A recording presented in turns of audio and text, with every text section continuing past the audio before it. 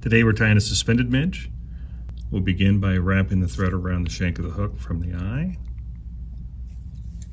trimming off excess about halfway down, and we want to bring our thread down the shank so that it's even with the barb. This particular hook has a natural curve all the way down, and it's difficult to see where that begins. We're going to use goose biot for the body. When we're working with goose biot, we'll want to tie it on the correct way. If you see a slight notch on the top, that notch needs to be away from you. If you are tying these and you see a ridge form, you've got to take it off and turn it the other direction. We'll secure the biot to the shank and then bring our thread about three quarters of the way up the shank.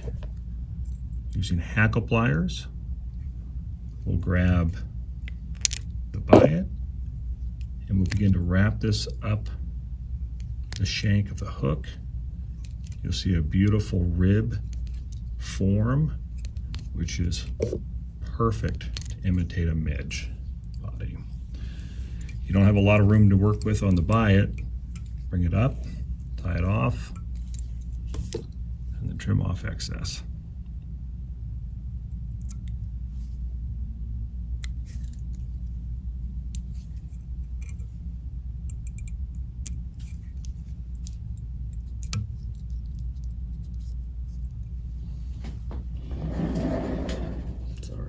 CDC. That one. We're going to use two CDC feathers off a goose, line them up. This is going to form our overwing.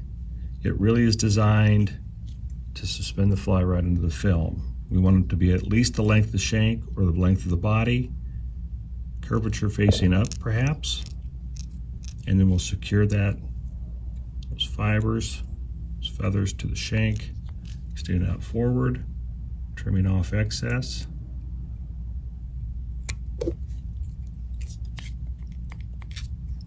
And then wrapping down to form a black thorax to the fly. Couple wraps in front, front to help support the CDC.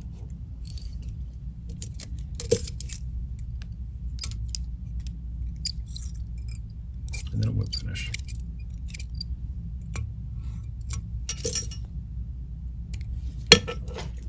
The suspended midge.